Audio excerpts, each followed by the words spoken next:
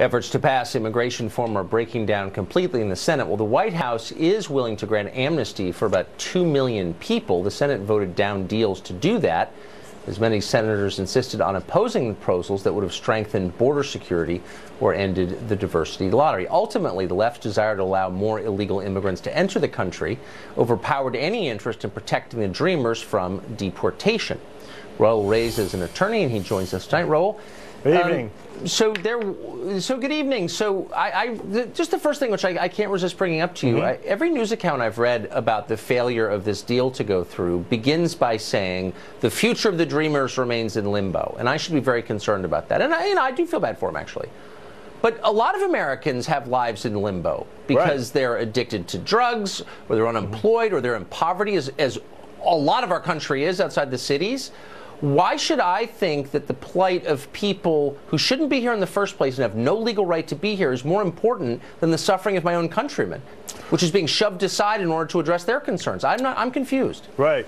Well, I think uh, the way, in my view, the answer to that question is that no one group of people is not necessarily more important than the others. When people talk about the Dreamers being in limbo, that's because of these court decisions. We don't know what their status is going to be of the program because of the failure in Congress to come to an agreement this week. We don't know if there's going to be any consensus about what to do about their status going forward. And I think when people ask me why should we care about them, what I generally say in terms terms of like the, the larger debate going on in the country is because that's what most Americans, you know, they want they want it solved. They want they want them to be allowed to stay, yeah, legalize, I think, or path I think to that's citizenship. right. No, but let me. And I so agree. Mo- Look, most people, just want it, settle. But, but hold on.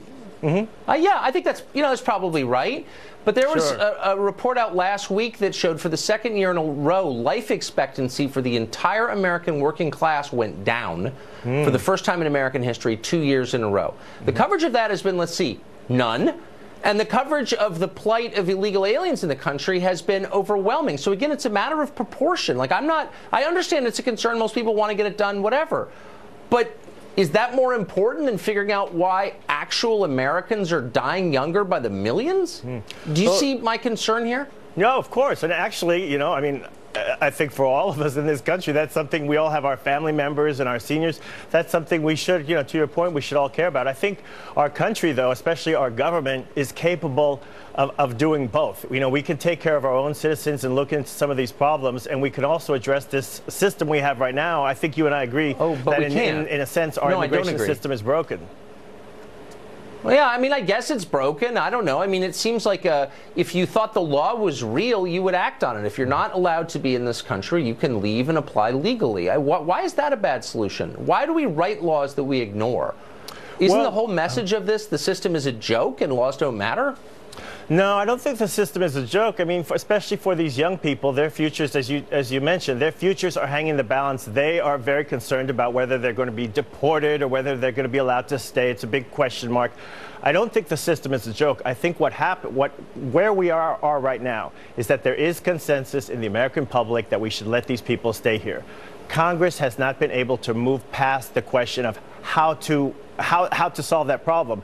And part of the thing, in my view, part of what complicates this is that Donald Trump, whatever you think of him, he's been sort of an uh, unreliable negotiator because on one hand he's saying he wants a bill of love and he, he'll take the heat for something that would allow them to stay. And then this week we saw he went back to the four pillars, which was a very hardline approach. And I think it would be easier for both sides if he were willing to stake out a consistent approach rather than going back and forth. No, look, the, the argument was what to do about the Dreamers, mm-hmm. the, the DACA recipients, about 700,000 people. Trump said, you know what, I'll let two 2 million stay. Democrats right. said that's not enough. You need to legalize all 12 million. This is, look, but why not? Here's my solution. How about everyone who is in violation of the law and doesn't have a legal right to be here can leave? Mm-hmm. and then apply because we let in a million people legally every year. Why doesn't every person here illegally leave tonight? Some of them won't like it, but it is our law. And then they can come back if they get in legally. Why is that not an option? Well, I think for two reasons. Number one, for the economic disruption it would cause, you know, if we had all these people leave. And for many of these people, what happens the way our laws are set up right now, if they are here illegally and they go, say, if they self-deport, say, to, uh, so to speak, and go back home and try and come back, there's on the law they're barred for a minimum of between 10, three to 10 years from even applying to come back. And those people do not oh, want so that would be do not want to do that. Them. So that's sort of a, oh, a realistic they don't want to be inconvenienced. impediment for them yeah, doing it. it. So people who can't came here way. legally don't want to be hassled. Right. Okay. Well, no, so they don't they don't want Well, to go thank through, you. through that. Why would they? Hilarious. All right. Uh, filmmaker Rob Reiner has been shouting for months about Russia's cyber invasion of America, using the word treason. How does he respond to today's indictments? He joins us next.